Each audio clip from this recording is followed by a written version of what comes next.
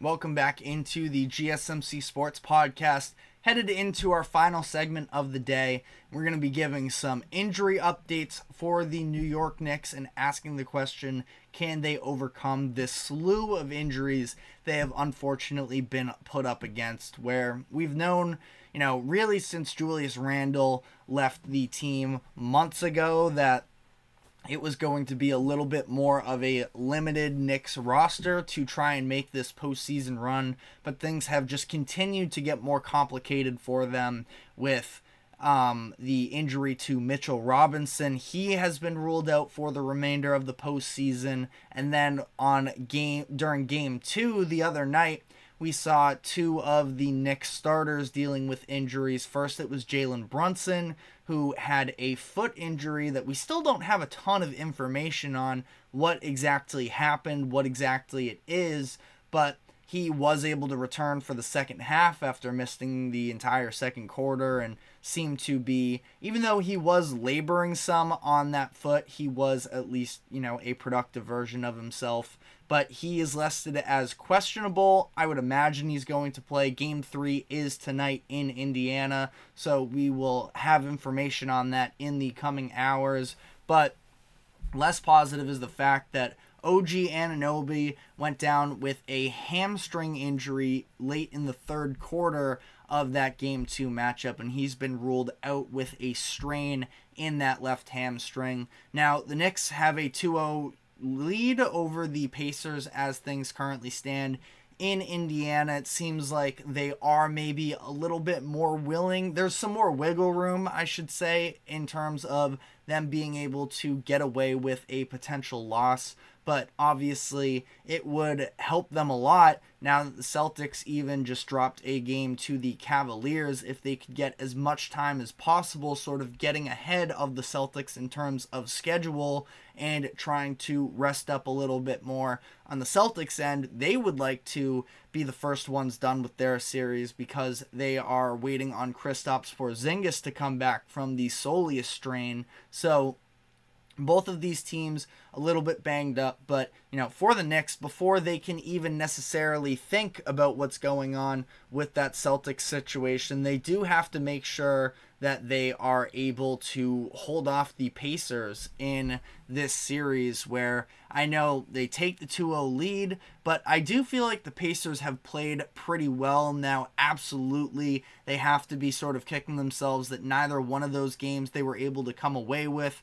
Game 1, really up until the fourth quarter, that seemed like their game. They got incredible bench production and it wasn't until the final few minutes where yes as we know some calls sort of went um went the other way for them this is something i meant to bring up on the show yesterday but how about the report that the pacers have filed a complaint for 78 calls over the first two games. Just absolutely ridiculous stuff. And listen, I understand refereeing can definitely feel slanted against you, but to put out an extensive list like that is definitely um, a bit much in my eyes. Now, again, I understand the frustration that can come with refereeing at times, but Pacers are sort of they do have themselves to blame because listen, I've always had this philosophy. I don't believe that refereeing can fully give the game away. I was kind of shocked to see Brian Windhorst on ESPN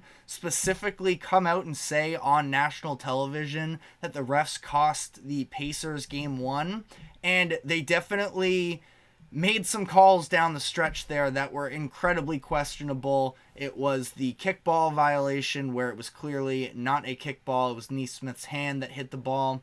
And then the illegal screen call that had a lot of people mad. So, listen, again, I understand how frustrating that can be, but just seems, you know, a bit much for them to be so mad about the referees as a whole, where seems like they have been underachieving with opportunities to close out either one of these games. So again, maybe some calls down the stretch of game one, but Tyrese Halliburton only scored six points in that game, was not effective whatsoever. He is more involved in game two, but ultimately, even with the injuries to Anunoby, who was really good in that game, you missed Jalen Brunson for a stretch of that. The Pacers have the halftime lead.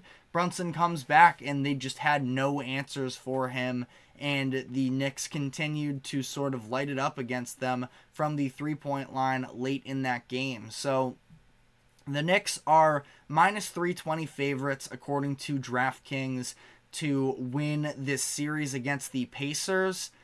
I feel like it's going to be a very, you know, again, it seems pretty one sided, but the Pacers have played well at home this season. That's what happens with these young teams. And I think that they can take at least one of these games. I wouldn't be surprised if Indiana is able to take both. I've been saying, you know, coming into the series, I feel like this could be a closer series than people expect.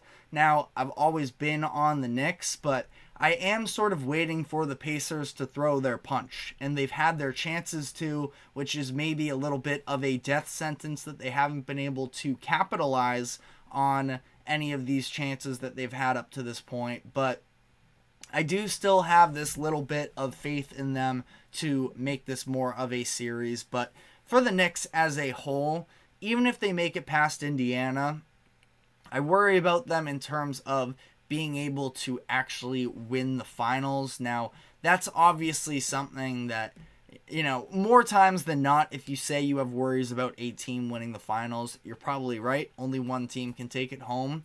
I sort of felt like this was a season to get yourselves right a little bit, but prior to you know, when they made the OG Anunoby trade, I thought that it was a really nice move to help solidify their roster headed into next season. I do still feel like they are a little bit one year away. Now, obviously, they win the playoff series against the Cavaliers last season as a five seed, so they, at least seeding wise, overachieved in that aspect, but especially with all these injuries piling up.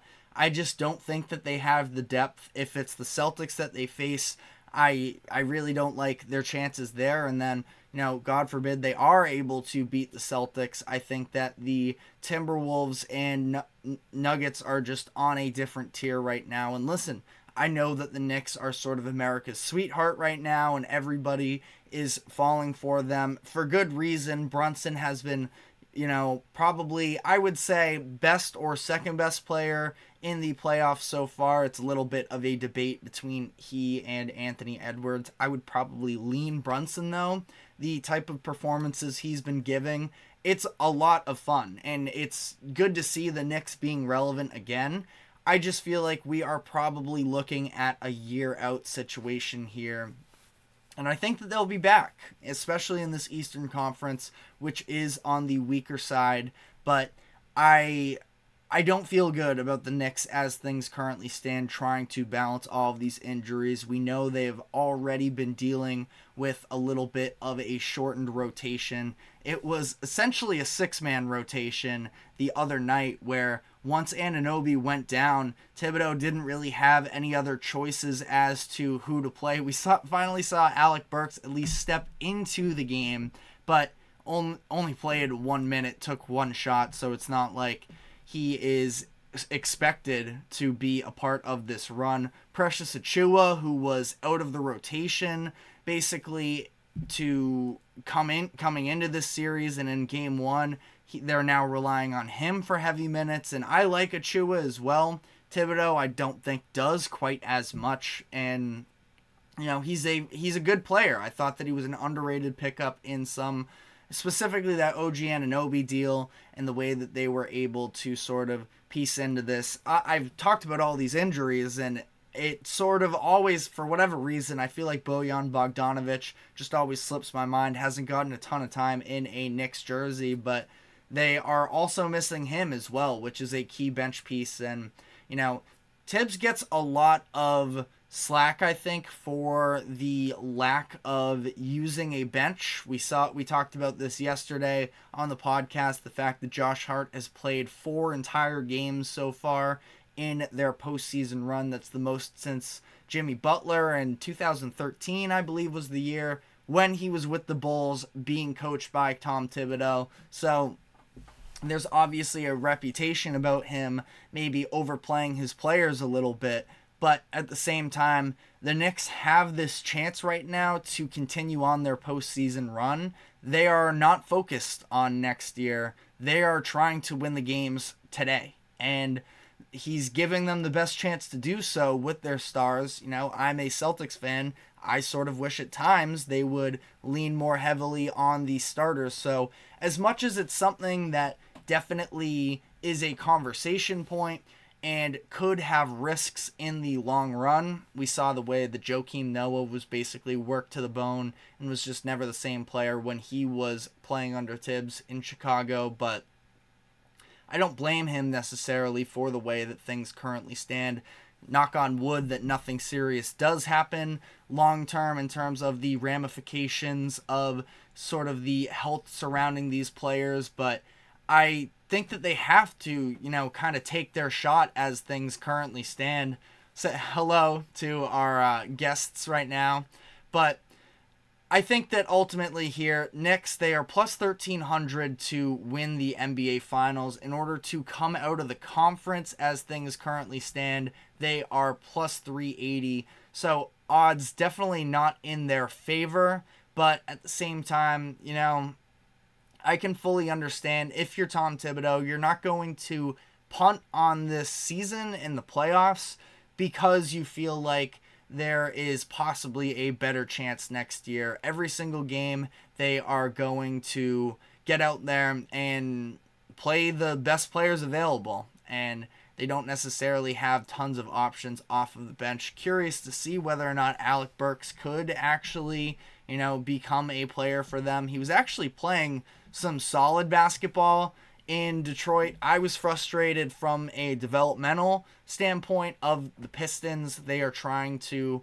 know, build up all of these young pieces that they currently have. Why is Alec Burks taking all of these shots? But, you know, for the Knicks, I don't know, maybe he could come in and provide some sort of offense. I know that defense has never really been his strong suit, but something to think about, especially with Jalen Brunson dealing with whatever his injury as well. Again, I would assume that he plays tonight to be able to um, give the Knicks even a shot to win tonight because with no OG and with no Brunson in Indiana, I don't know if they would have any sort of a choice what's or chance I should say whatsoever. But let me know in the comment section what you think about this.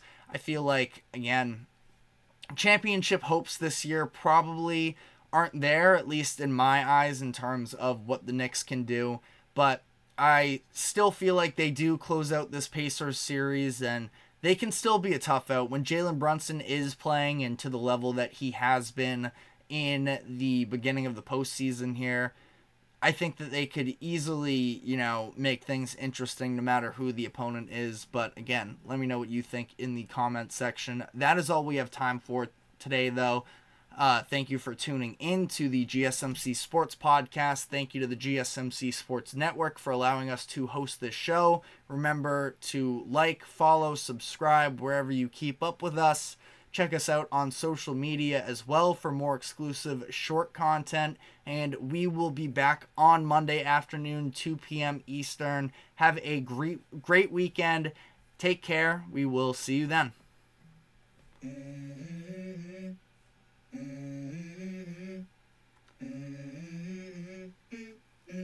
Let's go wake up to a little bit of drool on my pillow, feel like it's gonna be a bad day. Yeah, I'm tired of shit, and the coffee ain't hit yet. Damn, ain't that great. I don't wanna go.